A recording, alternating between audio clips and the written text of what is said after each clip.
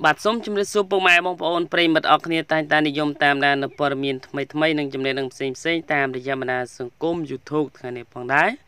Channel Comedy Freedom របស់ខ្ញុំបាទនឹងសូមអនុញ្ញាតធ្វើការលើកយកនៅអត្ថបទព័ត៌មានថ្មីមួយខ្ញុំអានចាជូនពុកម៉ែបងប្អូនប្រិយមិត្តអរគ្នាមកស្ដាប់និងទស្សនាផងដែរដែលព័ត៌មាននេះមានចំណងជើងថាហេតុតែចង់បង្ហាញភាពកតញ្ញូបរោះម្នាក់យកបាតជើងនិងដៃម្ដាយ សាក់លើខ្នងដើម្បី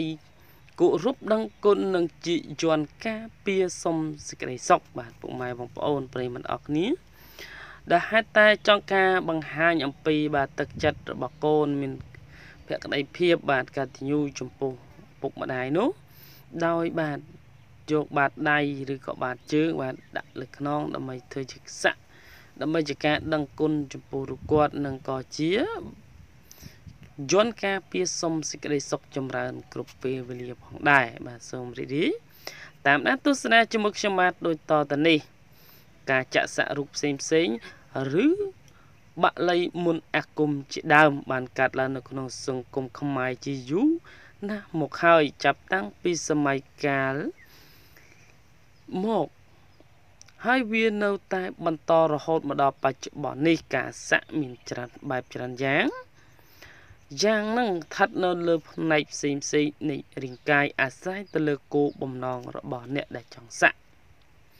បច្ចុប្បន្នមានការសាក់ហាក់មានភាពពេញនិយមខ្លាំងសម្រាប់យុវវ័យមួយចំនួន ដើម្បីបង្ហាញពីភាពរឹងមាំស្រស់ស្អាតសង្ហាភាពក្លាហានឬជាការសាក់ដើម្បីដាក់បល័យមុនអាគមភ្លើងងងឹតនៅលើ រាងកាយជាដើមក៏ប៉ុន្តែទោះបីជាការសាក់រូបនេះ បានកើតឡើងជាយូរយារណាស់មកហើយនៅក្នុង សង្គមបច្ចុប្បន្នក៏បានចាត់ទុកជាការសាក់រូបលើខ្លួន ជាមនុស្សមិនល្អក្អេងក្អាងបងតូចបងធំជាដើមប៉ុន្តែគ្រាន់ជាគំនិតមួយផ្នែកតែប៉ុណ្ណោះដោយឡែកថ្មីថ្មីនេះមានការចែករំលែកតតគ្នាជាច្រើននៅរូបភាពបរោះម្នាក់ ដែលបានយកបាតជើងអ្នកម្ដាយយកមកលើខ្នង ហើយយកមកសាក់មានទំហំប៉ុនបាតជើងនោះសាក់នេះលោកចង់ដឹងបង្ហាញអំពីការតបស្នងសងគុណនិងការចាត់ទុកជើង ទាំងសងខាងខាងលើជាព្រះរូបយន្តការពារសុំសេចក្តីសុខគណនី Facebook បរោះខាងលើមានឈ្មោះថា ខ្លាខ្មៅសរូបដែលលោកបានបង្ហាញអំពីរូបនឹងសរសេរយ៉ាងដូចនេះថាបាតដៃបាតជើងម៉ែមិនស្អាតសម្រាប់អ្នកផ្សេងតែវា មានតម្លៃសម្រាប់ខ្ញុំកាត់ថ្លៃមិនបាន ការគោរពដឹងគុណ